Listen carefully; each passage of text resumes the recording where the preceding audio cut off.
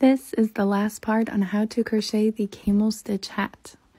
Now, once you reach the length that you need, and you get the length by just not increasing and just putting one stitch into every stitch, you can add a border or you can add some length. For this stitch, I like to add a single crochet border. So instead of putting a half double crochet in every stitch around, I'll put a single crochet and it just gives it another nice edge.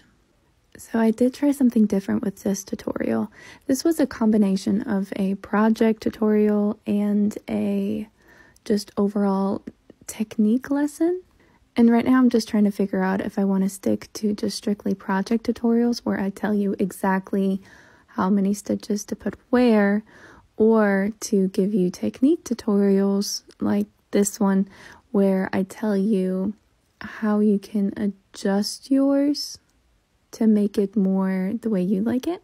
I guess what I was really trying to show with this series is that you can make a hat and still add your own little touch to it, and it's not as scary as it seems.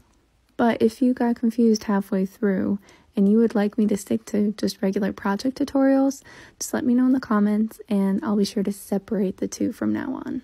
But thanks for hanging out. I love making these videos, so be sure to like and follow.